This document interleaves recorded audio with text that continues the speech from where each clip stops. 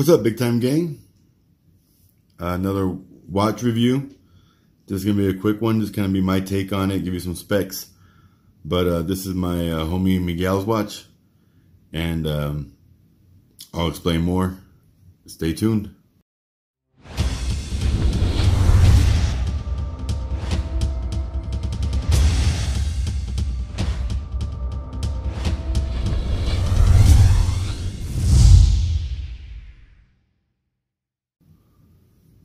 So, Bulova, this is model C8601235. And the ID number is 96B235. So, uh, Miguel had an issue with the um, bracelet falling off of the case. And um, I put a bracelet pin from one of my other watches. I just had a pin. It was a, a um, roll pin, cotter pin type, and uh, it worked perfectly. So I was going to do the whole video on how I did it, but the pin is staying in secured. So I'm not even going to mess with it. I'm to leave it alone. But so uh, all it is, is this is a very weird design for a watch. So here you see the hole um, I've never seen another watch like this where, you know, like if Invicta, if they don't use spring pins, no, normally it's like a screw bolt, you know, it's a, not a screw bolt, but a, a, a bar that has a screw end on it. And uh, that holds the case to the bracelet or the bracelet to the case. And uh, this one here actually uses um, rolled pins or uh, uh, cotter pins. Um, just very different. So um, it worked.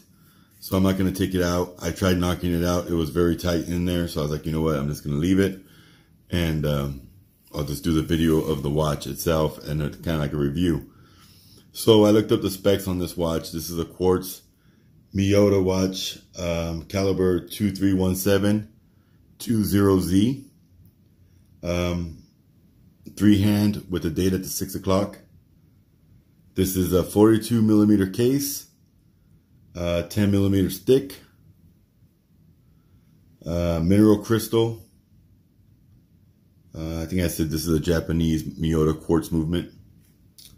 Um, 447 Swarovski crystals. I don't know if I said that right. Swarovski crystals. So all the ice on here is um, those type of crystals, which are, I know they're higher end for not being diamonds on as far as crystal wise. Um, pave dial, um, completely covered on the bezel, and then halfway down the bracelet as well. Very nice looking watch. You know me and my big watches this is small for my taste at 42 millimeters, but a nice watch. Um, definitely has some, you know, wrist bling and some wrist appeal if you like that sort of thing.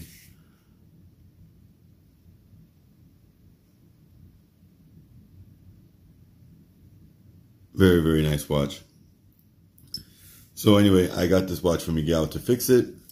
I fixed it off a video and uh, sorry I didn't get to share that with you guys, but uh, The watch is all nice and, and functional again. Got the Bulova symbol on the crown. And I don't believe the crown is screw down. No, it is not. So this is definitely just a show, not a dive watch.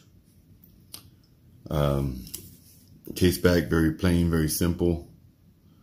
Got a little engraving there. You can see the Bulova logo. Stainless steel. Nothing too fancy give Miguel credit. Most of the watches I get are pretty crusty when I get them. Miguel's watch is pristine and clean.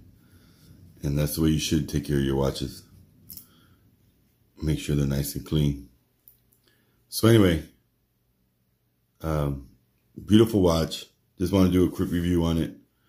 Uh, 42 millimeters is uh, definitely on the smaller side for an Invicta collector. I mean, I think most of us go, you know, 47 millimeters is like the smallest we'll go. I don't know if this will fit on me. Oh, I guess it will. So we'll put this on my wrist for a little perspective. Miguel has a bigger wrist than I thought. So actually fits me perfect. Now that thing looks so small on me. I'm just so not used to seeing something that small on my wrist. Um, the smallest I wear is 50 millimeter. And I mean, it's only eight millimeters, but it makes a big difference. The bracelets are a lot more beefy. I mean, look, I mean, this watch wouldn't even gouge my hand where I got that big old mark at from the crowns. It wouldn't even touch. This actually fits me like perfect. It's snug, but it's not uh, overly snug. But let's see what you guys think. I don't own a Bulova. Um, I know the Precisionist. There's a couple others that are really nice watches, but there's always an Invicta I'd rather get. So uh, I don't I don't go for the uh, but I know it's a nice brand, nice movement. Uh, you can't go wrong with a Japanese Miyota, even though it's quartz. Uh, Miyota's got a good reputation. It's just like a a Seiko almost. You know, Seikos are more automatics, but uh, Miyota's got a good reputation for being a quality movement. Got the butterfly clasp.